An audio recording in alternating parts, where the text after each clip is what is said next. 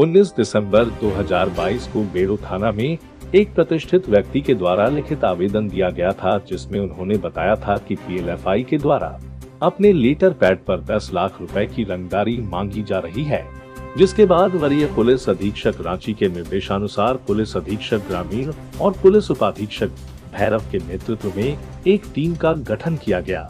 गठित टीम द्वारा त्वरित कार्यवाही करते हुए मामले का खंडन किया गया, जिसमें कुल चार अपराधियों की गिरफ्तारी हुई। साथ ही मामले की कार्यवाही की जा रही है। देखिए, बेड़ो थाने में 19 बारह 2022 यानी दिसंबर की उन्नीसवीं तारीख को एक मामला दर्ज कराया गया वहाँ के एक प्रतिष्ठित व्यक्ति के द्वारा कि उन्हें पीएलएफआई के नाम पर एक पर्चा दिया गया है और उनसे रंगदारी की मांग की जा रही है दस लाख रुपए की। उसके बाद उन्हें एक नंबर से लगातार फ़ोन भी आते रहे, जिससे पैसे की मांग की जाती रही। इसको लेकर प्राथमिकी दर्ज की गई और ग्रामीण पुलिस अधीक्षक के दिशा निर्देश में पुलिस उपाधीक्षक बेड़ो टीम को लीड कर रहे थे, जिसमें कि बेड़ो थाना प्रभारी भी शामिल थे। उस टीम के द्वारा लगातार कार्रवाई की गई, इसको फॉलो किया गया। ह्यूमन इंट और टेक्निकल इंट का यूज़ किया गया, जिसके माध्यम से अंततः हम लोगों ने चार अपराधियों की इस मामले में गिरफ्तारी की है।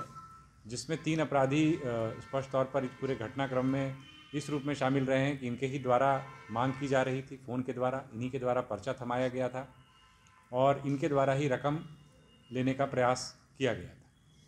चौथा व्यक्ति जो है उसी के प्रिंटिंग प्रेस में, जो उसके पास प्रिंटिंग मशीन है, वहाँ पर से ये पर्चे, हमें कुछ एक्स्ट्रा पर्चे भी मिले हैं और उसके पास से एक लैपटॉप भी सीज हुआ है और उसको भी इस मामले में गिरफ़्तार किया गया।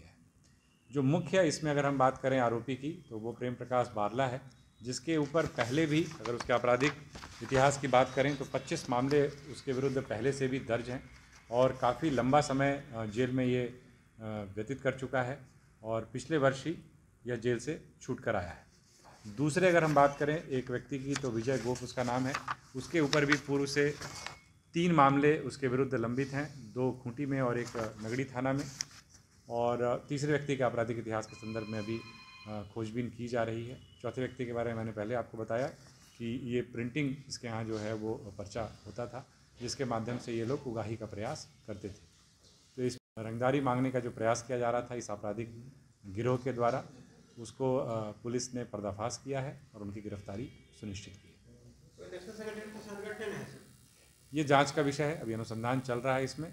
बट प्रथम दृष्टिया जैसा पहले भी इसका जिस प्रकार का आपराधिक इतिहास रहा है ये मूलतः अपना एक खुद का एक छोटा सा समूह बना करके रंगदारी मानने के मांगने के मामलों में पहले भी जेल जा चुका है। हुई थी कि कुछ अपराधकर्मी जो पुराने अपराधी हैं जिनका पुराना आपराधिक इतिहास भी रहा है वो कुछ अवैध हथियार के साथ एक विशेष गाड़ी में एक विशेष रंग की गाड़ी में घूम रहे हैं।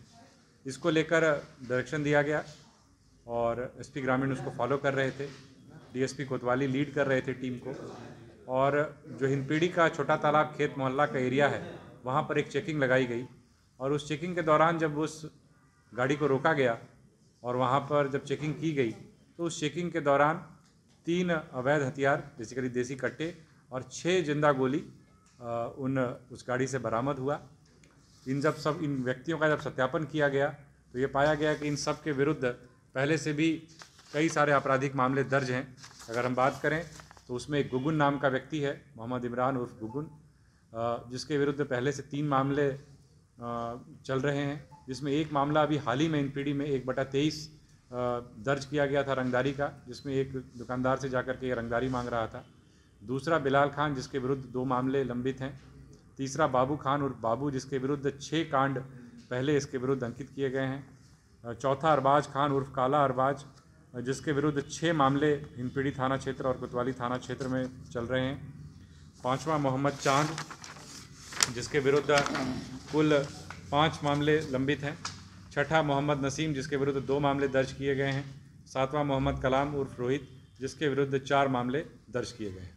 इसमें कुल मिलाकर जैसा मैंने बताया कि तीन देसी कट्टे छः ज़िंदा गोली और एक गाड़ी और तीन मोबाइल फ़ोन।